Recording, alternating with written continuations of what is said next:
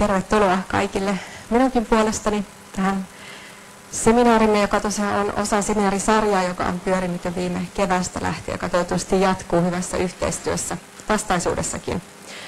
Ähm, tosiaan mun otsikkona oli tämä case 2, eli paperittomien, ulkomaala, paperittomien ulkomaalaisten, ei siis vain pakolaisten, vaan laajemmin paperittomien ulkomaalaisten oikeus terveyspalveluihin ihmisoikeuskysymyksenä. Ja tarkoituksena tässä kuvata tätä ähm, surullisen kuuluisaa hallituksen esitystä eduskunnalle laiksi kunnan velvollisuudesta järjestää eräitä terveydenhuollon palveluja eräille ulkomaalaisille ja niin edelleen, eli tätä hallituksen esitystä 3.3.2014, ähm, vähän valottaa tämän esityksen syntytaustoja, minkälaisessa prosessissa se tavallaan tämä kysymys paperittomasta ylipäänsä tuli Suomessa äm, poliittiselle agendalle ja lainvalmisteluun. Sitä, miten tässä äm, miten tämä käsittely eteni, mitä se lopulta kävi, minkä tyyppisiä, ja nimenomaan ihmisoikeusnäkökulmasta, minkä tyyppisiä argumentteja käsittelyyhteydessä esitettiin, koska tämä kuten myöhemmin toivottavasti vakuuttavasti teille pystyn sanomaan, niin pidän tätä aika ainutlaatuisena esimerkkinä ihmisoikeuksien käytöstä niin kuin suomalaisessa lainvalmistelussa ja politiikan teossa. Ja sitten lopetetaan pohdintaan, mitä nyt. Ja tosiaan Pauli jonkin verran omassa esityksessään tästä puhuu, mutta yritän olla, ähm, puhua vähän eri näkökulmasta.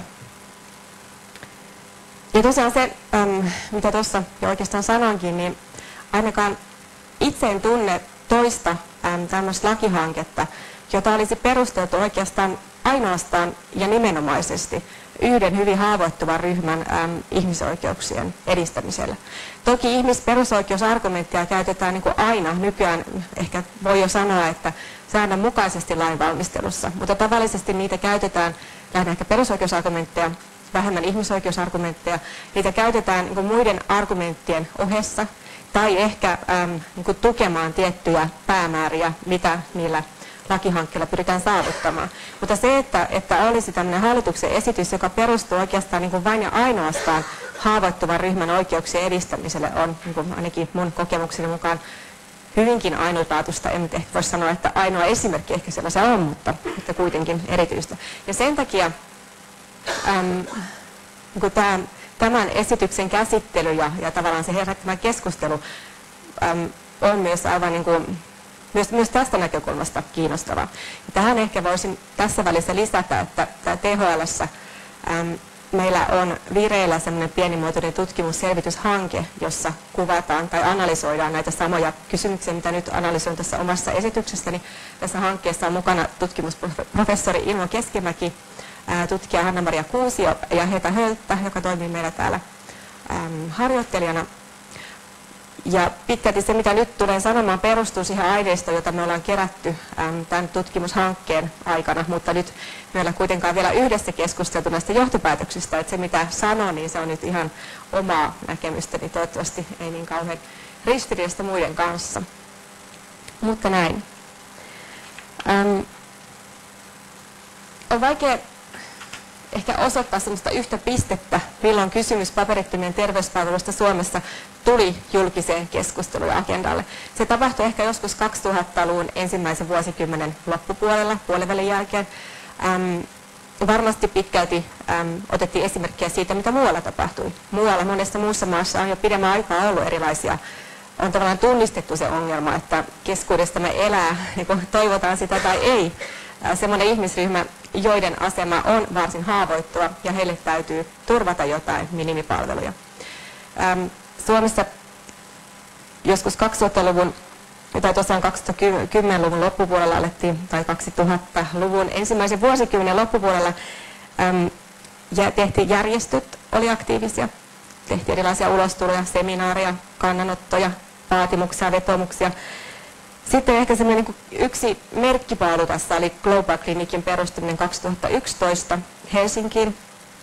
Ähm, pakolaisneuvonnan paperittomat hanke, jossa niin kuin, tuotiin vahvasti esiin tätä oikeudellista puolta ja tavallaan niin kuin, jäsennettiin sitä, sitä keskustelua myös niin oikeusnäkökulmasta, että mistä tässä oikeasti on kyse ja mitä meidän täytyy tehdä. Ähm, alkoi pikkuhiljaa siis tulla ilmeiseksi se, että Suomessakin on paperittomia, ja se tietenkin näkyy, alkoi näkyä myös katukuvasta. Tosi suuri osa niistä henkilöistä, joita katukuvassa näkyy, joita ehkä niin kuin ajatellaan tämän paperittomat otsikon alla, eivät kuitenkaan ole varsinaisesti paperittomia, koska kyse on monesti EU-kansalaisista, joilla sinällään on oleskeluoikeus Suomessa, mutta ei pääsyä sosiaali- ja terveyspalveluihin. Kun sitten taas niin kun tavallaan kansainvälisessä keskustelussa, vaikka termi paperiton ei ole oikeudellinen käsite, niin sillä kuitenkin tavallaan viitataan semmoiseen henkilöön, jonka oleskeluoikeus on jostain syystä, tai oleskeluoikeutta ei ole olemassa. Eli henkilö oleskelee maassa ilman vaadittavaa viisumia tai oleskelulupaa. Ja tietenkin näitä niin kuin varsinaisia oikeita paperittomia on tavallisesti ilman lupaa maahan tulleet salakuljetetut henkilöt muun muassa. Mutta ehkä suurin osa on kielteisen turvapaikkapäätöksen saaneita turvapaikanhakijoita, jotka ovat jääneet maahan.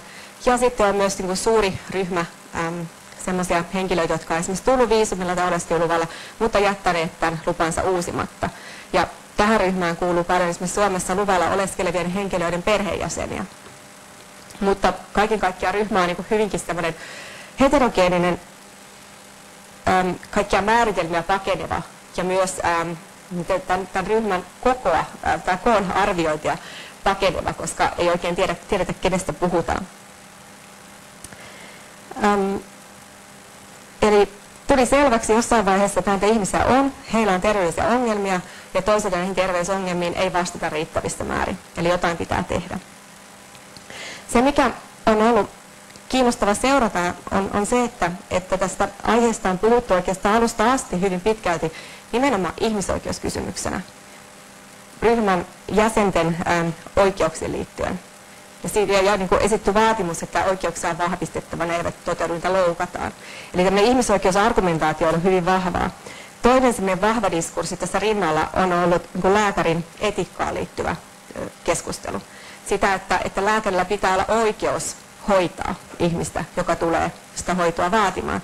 Eikä siinä vaiheessa aleta miettiä, että, että kuka sitä nyt olikaan, oliko siellä lupa et, ja, ja kuinka laajuinen äm, oikeusterveyspalvelu on olemassa. Että vaan niin tämä byrokratia ei kuulu siihen hoitotilanteeseen, vaan lääkärin etiikka velvoittaa lääkärin antaman hoitoa. Ja lainsäädännön pitää tukea ikään kuin tämän niin kuin etiikan toteuttamista toiminnassa. Ainakin niin, että se etiikka ja lainsäädäntö ei asetu ristiriitaan keskenään. Ja kun Suomessa Ruotsin naapurimaassa eletään, niin yksi niin myös huomattava seikka tässä, niin kuin, joka selittää meidän kansallista keskusteluamme, on Ruotsin esimerkki. Ruotsissa hyväksyttiin vuonna 2013 laki paperittomien ulkomaalaisten terveyspalveluista.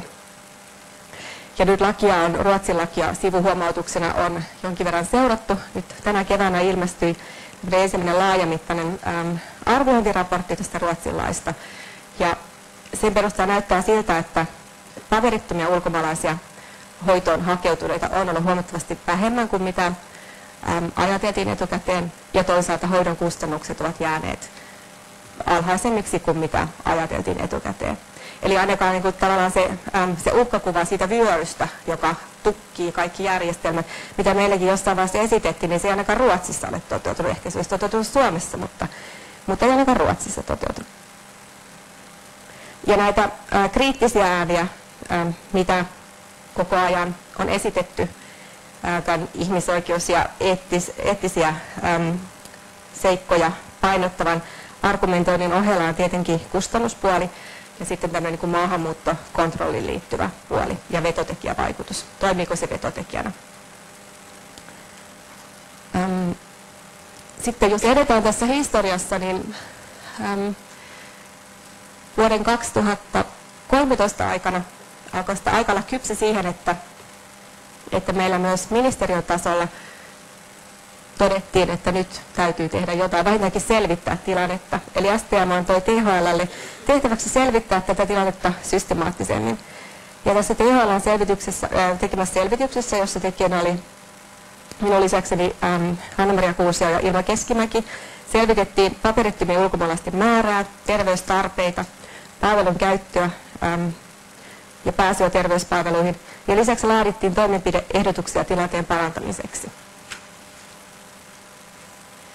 Ähm, THLn raportti kattoi toimeksiannon mukaisesti sekä kun nämä varsinaiset paperittomat henkilöt että EU-kansalaiset, tavallaan paperittomiin rinnastuvat, käytännössä rinnastuvat EU-kansalaiset, joiden oleskelu on laillista, mutta joilla ei ole niin kotimaassa puuttuvan vakuutussuojan vuoksi äm, EUn koordinaatioinstrumenttien vuoksi oikeutta sosiaaliturvaan Suomessa. Eli EU-järjestelmähän perustuu sillä tavalla, niin kuin, äm, tavallaan ehkä vastavuoroisuuteen, mutta siihen, että, että henkilö täytyy olla äm, kotimaansa sairausvakuutuksen piirissä, jotta hän saa palveluja myös toisessa maassa. Ja tosiasia on se, että useissa Itä-Euroopan, Keski- ja Itä-Euroopan maissa äm, esimerkiksi romanin väestöön kuuluvat henkilöt harvoin kuuluvat sen kansallisen vakuutuksen, sosiaalivakuutuksen piiriin, ja sen vuoksi he jäävät näiden palvelujen ulkopuolelle kotimaassa, mutta myös matkustaessaan EU-kansalaisena toisessa EU-maassa. Ja THLn raportin johtopäätöksenä oli se, että nykytilanne on ongelmallinen. Etenkin se on ongelmallinen Suomea velvoittavien ihmisoikeussopimusten valossa, mutta lisäksi kun nähtiin myös muita ongelmia, esimerkiksi kustannuspuoli on ongelma, että jos, jos ongelmiin ei puututa terveysongelmiin riittävän ajoissa, niin silloin vaarana on, että kustannukset vaan kasvavat. Ja tietenkin esimerkiksi tämä niin tavallaan lääkärin etiikan ja lainsäädännön kohtaamattomuus oli ongelma. Mutta ihmisoikeusargumentointi nousi aika keskeiseen asemaan tässä meidän raportissa. Eli katsomme, että, että se oikeus kiireelliseen hoitoon, joka sisältyy nykylainsäädäntöömme, ei ole riittävä. Eli se ei vastaa niin kuin ihmisoikeusvelvoitteista seuraavaa velvoitetta turvata oikeus terveyteen. Ja ähm, varmaan kaikille on tuttua se, että, ja, ja mikä oikeastaan tässä aiemmistakin puheenvuorossa tuli esiin, niin sosiaalisten ihmisoikeuksien, jos nimenomaan puhutaan niistä niin kuin ihmisoikeussopimuksissa turvattuna standardeja, standardeina, niin niiden sisällön, äh, täsmällisen ydinsisällön määrittäminen on äärimmäisen hankala. Että milloin ollaan siinä tilanteessa, että tapahtuu loukkaus. Ja tätä paljon pyöriteltiin siinä meidän raportissakin, kuten sitä on pyöritelty monessa muussakin paikassa. Ja ehkä semmoinen niin keskeinen lopputulos on se, että ainakin siltä osin äm, ainakin niin lisääntymisterveyteen liittyvien, eli raskauteen, synnytykseen liittyvien palvelujen osalta ja lasten terveyspalvelujen osalta meidän ää, kiireellinen hoito on, on liian kapea käsite. Eli niin kuin, tavallaan näiltä osin, koska nämä eivät sisälly kiireellisen hoidon piiriin, niin sen vuoksi niin kuin tässä on ristiriita kansallisen järjestelmämme ja kansainvälisen sopimusten välillä. Eli jotta niin kun saadaan meidän kansainlainsäädäntö kansainvälisiä velvoitteita vastaavaan tilaan, niin täytyy tehdä, vähintäänkin täytyy tehdä jotain niin lisääntymisterveyspalvelujen alueella ja lisäksi lasten terveyspalvelujen alueella. THL esitti kolmea eri ratkaisuvaihtoehtoa. Yksi oli se, että, että näille paperittomille ja muille vastaavassa tilanteessa oleville turvattaisiin vastaavat terveyspalvelut kuin kunnan asukkaille – ja vastaavin ter- asiakasmaksuin kuin mitä, miten, tai millä kunnan asukkaat saavat palvelunsa. toinen vaihtoehto oli se, että, että turvattaisiin vastaavat palvelut kuin turvapaikanhakijoille. Eli käytännössä tämä pitää sisään terveydenhuollon ammattihenkilön välttämättömäksi arvioimat terveyspalvelut, joka on vähän enemmän kuin kiireellinen hoito. Se sisältää muun muassa äm, nämä lisääntymisterveyspalvelut.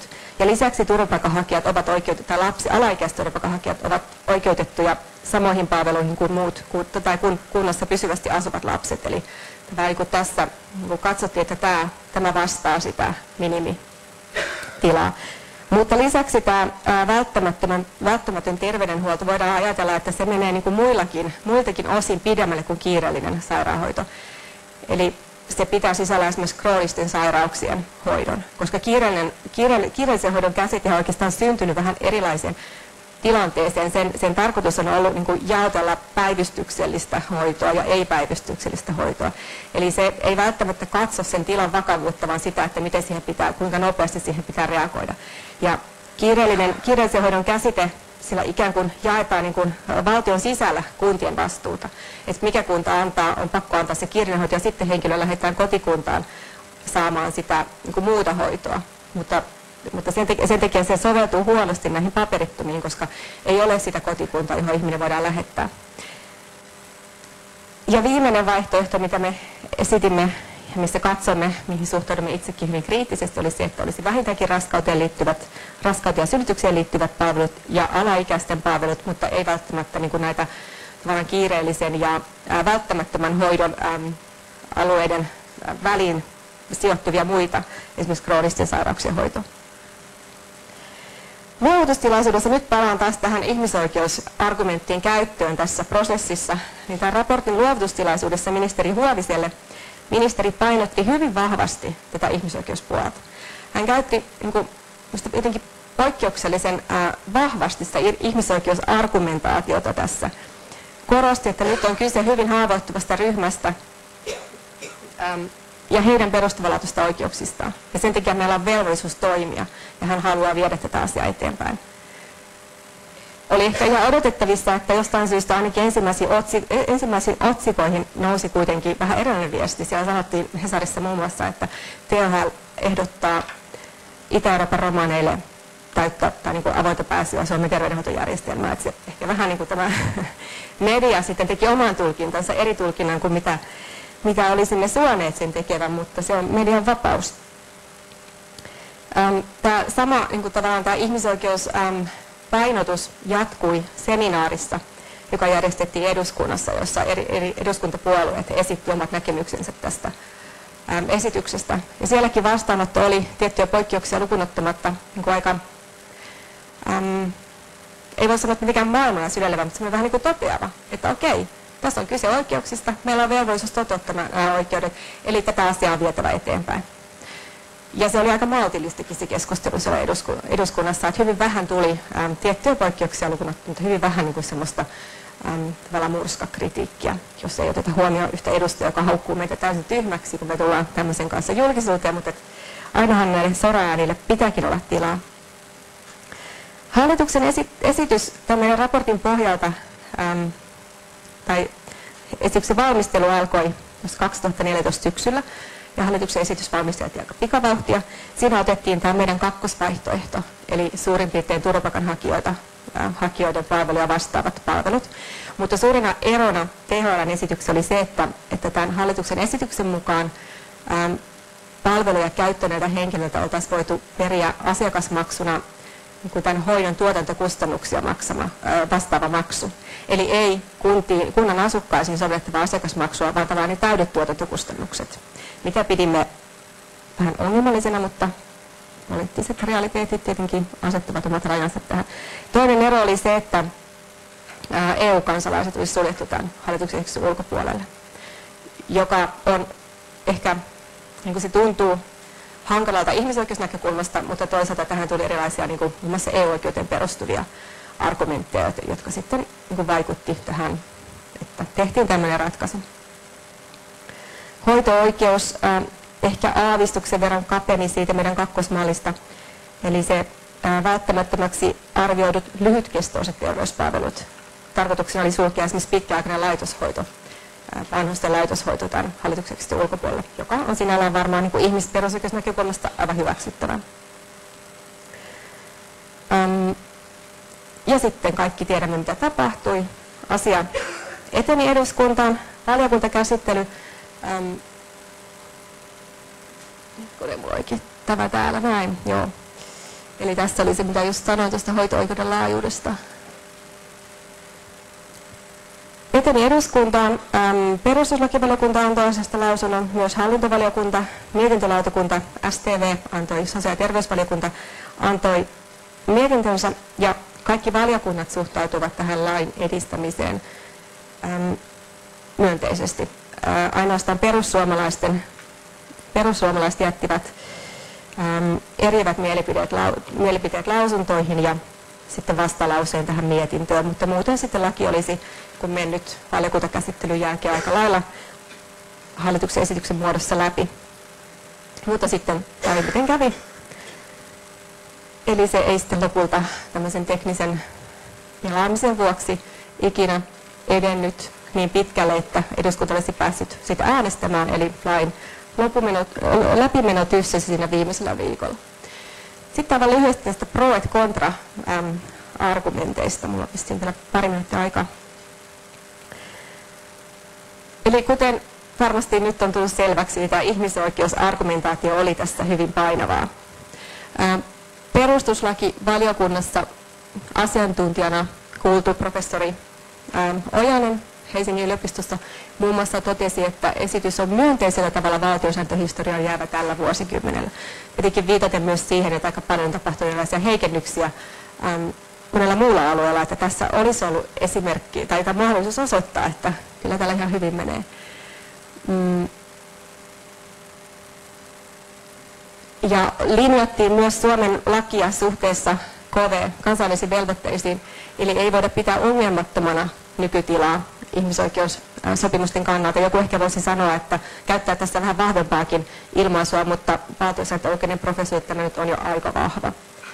Ähm, apulaisprofessori Juha Lavapuro Tampereelta ähm, totesi, että ei ole perusihmisoikeuksien näkökulmasta muuta kuin hyvää sanottavaa. Ja lisäksi hän näki jonkinasteista näyttöä siitä, että nykyisin voimassa oleva lainsäädäntö on ihmisperusoikeuksien näkökulmasta vähintäänkin ongelmallinen. Täällä tämä sama vähintäänkin ongelmallinen. Hallintovaliokunnan kuulema pakolaisneuvonta otti tässä vahvemman kannan. Eli Suomea sitovat kansainväliset ihmisoikeusvelvoitteet asettavat selkeän minimivelvoitteen turvata jokaiselle alaikäiselle sekä raskaana olevalle ja synnyttäneelle laajat terveyspalvelut. Eli vähintäänkin tältä osin on selkeä velvoite toimia, eli nykytila ei vastaa kansainvälisiä velvoitteita. Muita näitä pro-puolesta argumentteja oli, kuten sanoin, lääkärin etiikka ja nämä siis kaikki myös nimenomaan eduskuntakäsittelyn yhteydessä esiin, esiin tulleita asiantuntijana kuultujen tahojen esittämiä argumentteja. Lääkärin etiikka, inhimillisyys, emme voi olla toimimatta. HUS totesi omassa lausunnossaan, että sivistysvaltion velvollisuus pitää huolta tästä ihmisryhmästä. Eli tavallaan tämä niin meidän ikään kuin identiteettiin menemä argumentti. Meidän täytyy toimia, vaikka, kyse, vaikka sitä ei niinkään nähtäisi oikeudellisena velvo, velvoitteena, niin sivistysvaltiona meidän täytyy toimia. Ja kustannustehokkuus. Se tuotiin monesti esiin monissa näistä niin tavallaan pro-puheenvuoroissa, että, että on halvempi puuttua näihin ongelmiin ennen kuin ne muuttuvat vakavaksi ja kiireellistä hoitoa edellyttäviksi. Kontra-argumentteja, myös eduskunnassa esitettyjä kustannusten epäselvyys. Se, että, että tätä lakia äm, arvostettiin siitä, että taustatyö on huonosti tehty, koska ei ole yksiselitteistä lukumäärää näistä paperittomista, eikä yksiselitteisiä kustannusarvioita, joka tietenkin johtuu siitä, että, että niin kuin, kenelläkään maailmassa ei ole niitä lukuja esittää, koska nyt puhumme niin näkymättömästä ilmiöstä, ja sen takia voidaan esittää vain karkeita arvailuja näiden henkilöiden määrästä. Ja myös kustannukset kustannuksiin liittyy paljon ähm, epävarmuustekijöitä. Ähm, vahvasti nostettiin esiin eduskuntakuulemisissa ähm, etenkin vakavien infektiotautien erityisen korkeat kustannukset, jotka ovat niin korkeita jopa niin kuin yksittäisen henkilön hoidossa, että välttämättä näiden henkilöiden määrä ei tarvitse olla niin valtavan suuri, kun se jo näkyy äh, kustannusheilahduksena ylöspäin. Lähinnä siis puhutaan tuberkuloosista ja HIVistä. Sitä ristiriita maahanmuuttokontrollin kanssa jos toinen käsi rajoittaa maahan, maahan tulijoiden määrää ja yrittää estää sitä, ei toinen käsi voi antaa etuja ja oikeuksia yksilöille. Ja sitten tämä vetotekijäargumentti, jota käytettiin aika vähän. Ehkä odotettiin, että sitä etukäteen, tai odotettiin etukäteen, sitä enemmänkin, mutta lopulta sitä ei juurikaan käytetty niin kuin aika vähän eduskuntakeskustelussa, ainakin valiokunnissa. Ähm, käytettiin sitä argumenttia, että, tämä ikään kuin, niin synnyttää äm, innokkeen tulla tänne Suomeen. Pikemminkin todettiin, että ehkä se synnyttää niin kuin, äm, tavallaan syyn olla täällä. Eli ei, ne, jotka ovat täällä, heillä ei ole tarvetta lähteä pois, koska he saavat terveyspalveluja, mutta ei sinällään nähty, että se niin kuin, luo mitään ulkomaalaisvirtoja tänne. Tosin kyllä sitäkin välillä maalailtiin. Mutta miten tästä eteenpäin? Se, mikä tässä oli lopputuloksena positiivista, en tiedä voiko sitä positiiviksi sanoa, koska se laki kaatuu niin surullisesti, mutta ainakaan sitä ei kaadettu niin kuin ihmisoikeusargumenteilla. Ainakaan sitä ei kaadettu sillä, että, että joku olisi sanonut, että tässä ei ole kyse velvoitteista, vaan se kaadettiin niin semmoisella poliittisella pelillä. Eli ehkä se jossain vaiheessa näyttäytyy ihan voittona. Ähm, kuitenkin tarve toimia ei ole poistunut mihinkään. Nyt viimeksi ennen joulua YK TSS-sopimusta valvova TSS-komitea antoi Suomea koskevat ähm, johtopäätökset, ja näissä todettiin, että Suomen tulee ryhtyä toimiin sen varmistamiseksi, että luvatta maassa oleskelevat henkilöt saavat kaikki tarvitsemansa terveyspalvelut. Eli täältä on luettavissa aika, aika niin kuin selväsanaisesti se, että te ette tee riittävästi. Teidän täytyy tehdä enemmän. Oikeus terveyteen tulee turvata kaikille ilman syrjintää. Se ei tarkoita sitä, että kaikille pitää turvata niin kuin identtinen pääsy kaikkiin palveluihin, mutta jotain enemmän pitää tehdä, mitä me nyt teemme. Ja kuten Pauli omassa alustuksessaan totesikin, niin myös tämä perustuslakivaliokunnan asiaa koskeva lausunto on tulkittavissa siten, että, että perustuslain 19 pykälän 1 momenttiin sisältyy jo tätä hallituksen esitystä vastaava oikeus, subjektiivinen oikeus terveyspalveluihin. Eli tavallaan voidaan ajatella, että se on jo siellä. Mutta kuten myös Pauli totesi, niin eihän se riitä, koska ensinnäkin yksilön oikeuksista tulee säätää lailla, kunnan velvoista tulee säätää lailla. Ja tämmöisen niin kuin haavoittuvassa asemassa olevan ryhmän hyvin hauraista oikeuksista pitää etenkin säätää lailla, koska me emme varmaan voi odottaa, että se terveyskeskuksen vastaanottovirkailija alkaa tulkita perustuslakia siinä vaiheessa, kun ihminen tulee sinne hoitoa hakemaan. Ja lopetan tähän. Kiitos.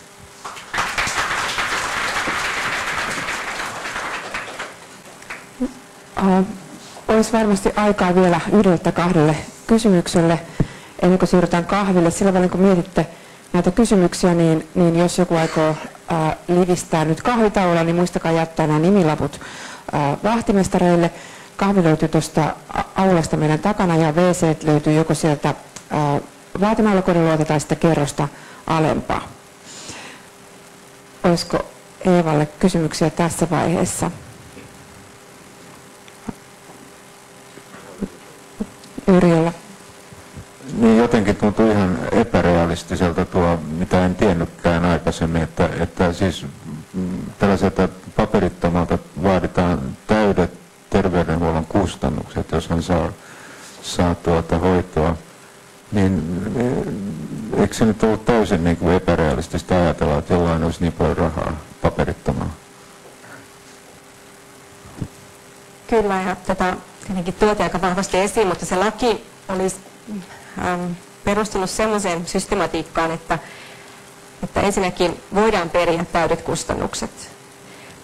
Mutta jos kunta ei saa perittyä niitä, kustannuksia, niitä täysiä kustannuksia siltä potilaalta, niin silloin kunta saa Kelalta korvauksen niistä perimättä ähm, jääneistä kustannuksista. Että siellä niin oli tavallaan sellainen backup-mekanismi, että se ei olisi jäänyt sille kunnalle, mutta kuitenkin ensisijainen velvollisuus oli sillä yksilöllä. Ja kun tätä lakia valmisteltiin ja muun muassa tämä kysymys nostettiin esiin, niin äm, sitä pidettiin suurena ongelmana ja osa katsoi, että, että kyllä se käytännössä vesittää sen oikeuden saada terveyspalveluja vaikkapa jonkin raskauden seurannan tai neuvolapalvelujen osalta, koska voidaan niin ajatella, että se äm, että se, että ihmisellä antaa, antaa lasku ja se heittää sen pois, niin se toimii sen tyyppisissä tilanteissa, kun, kun pitää saada niin kuin johonkin akuuttiin ongelmaan kiireellistä hoitoa. Mutta se, että, että kun perhe kävisi neuvolassa ja aina saa se lasku ja heittää sen pois, ja sitten siellä niin kuin alkaa olla aika pitkä lista niitä maksu, tai niitä rästilaskuja, niin ei se ehkä välttämättä ainakaan niin kuin kannusta niiden palvelujen käyttöön. Eli kyllä niin kuin, ainakin mä itse näkisin, että tämä oli huono niin puutteellinen laki tässä suhteessa, vaikkakin sitten tosiaan se, se yksittäisen kuntaan kohdistuva kuormitus ikään kuin poistui sieltä sen valtion korvausmekanismin kautta, mikä sitten tietenkin oikeudenmukaista, koska paperittomat äm, on hyvin epätasaisesti jakautunut Suomessa, että, että varmasti se on ihan hyvä, että, että tätä kuormitusta tuotaisiin jaettu eri tavalla, mutta näin. Siellä olisi vielä parikin kysymystä. Mennään sinne. Se kun alkaa sinne nettiin. Ole hyvä.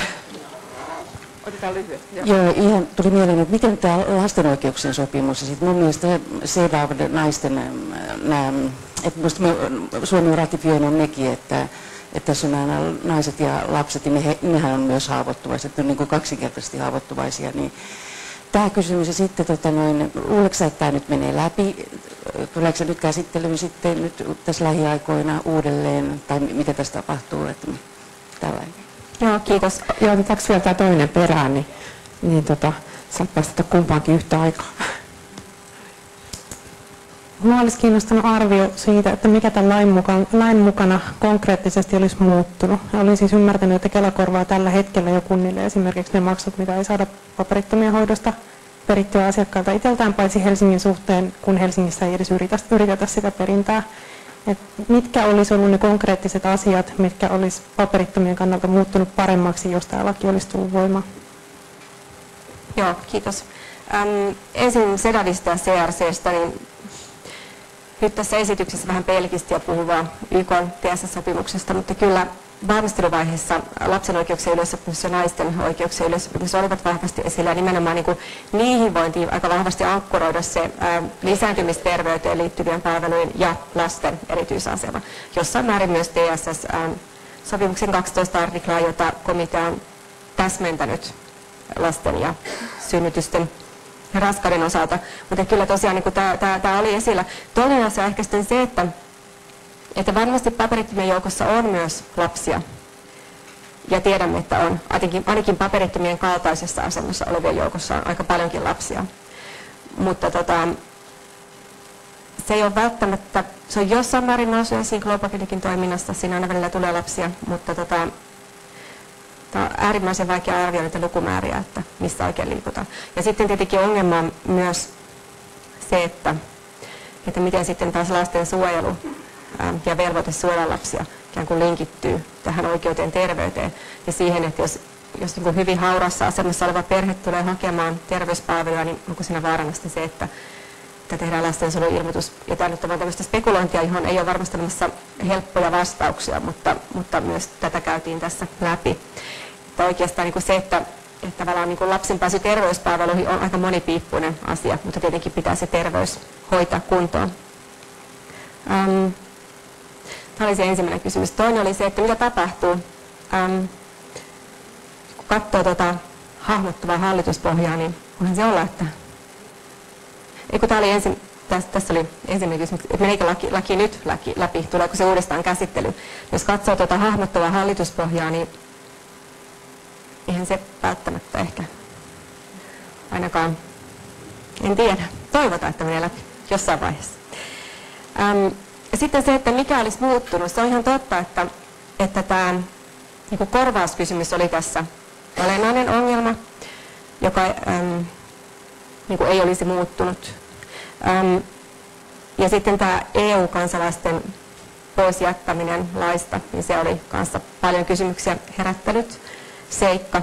Mutta kyllä mä itse näkisin sillä tavalla, että, että tämä laki ensinnäkin olisi ollut ensimmäinen askel oikeaan suuntaan. Eli ainakin se olisi muuttunut, että oltaisiin luotu oikeudellinen perusta vaikkapa sille, että lääkäri pystyy antamaan että ei tule mitään semmoisia niin tavallaan lääkärin vastuisiin ja oikeuksiin liittyviä konflikteja, että, että on niin tietyt kategoriat, tietyt palvelut, joita on niin velvollisuus antaa tai oikeus antaa, jos puhutaan siitä lääkäristä, joka haluaa antaa palveluja, mutta joka ei voi niitä antaa, koska niin kuin ei ole tavallaan lakiin perustuva mandaattia siihen.